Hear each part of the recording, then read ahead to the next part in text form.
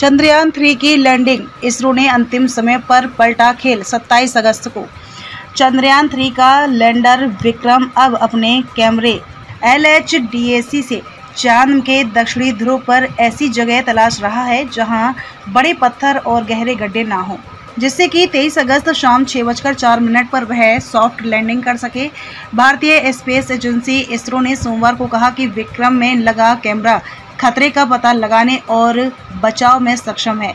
अंतरिक्ष अनुप्रयोग केंद्र इसरो के निदेशक नीलेश एम देसाई ने कहा कि 24 अगस्त को चंद्रयान थ्री को उतारना उचित होगा या नहीं, इसका निर्णय लैंडर मॉड्यूल की स्थिति और चंद्रमा पर स्थितियों के आधार पर लिया जाएगा। उन्होंने आगे कहा कि अगर परिस्थितियाँ अनुकूल नहीं रही तो लैंडिंग को 27 अगस्त तक आगे बढ़ाया जा सकता है। इसरो ने कहा कि चाँद पर उतरने से दो घंटे पहले स्थिति का जायजा लेंगे। उसके बाद लैंडर को चाँद पर उतारने का फैसला लेंगे।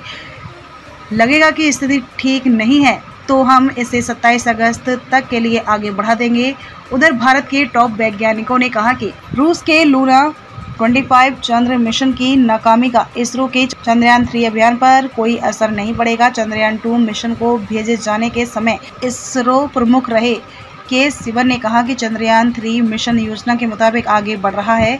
सॉफ्ट लैंडिंग योजना के अनुसार होगी। हम उम्मीद कर रहे हैं कि इस बार यह सतह पर उतरने में सफल रहेगा।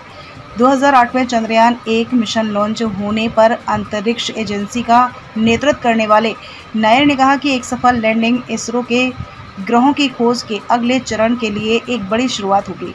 उन्होंने कहा कि ये एक बहुत ही जटिल युद्धाभ्यास है। हम आखिरी दो किलोमीटर चंद्रमा की सतह से ऊपर में इसे चंद्रयान टू मिशन में चंद्रमा का सॉफ्ट लैंडिंग करने से चूक गए। नाय ने कहा कि तो ऐसी कई चीज़ें हैं जिन्हें एक साथ काम करना होगा। Thruster, sensor, altimeter, computer, software और अन्य सभी चीज़ें कहीं भी होने वाले कोई भी गड़बड़ी हम मुसीबत में पड़ सकते हैं।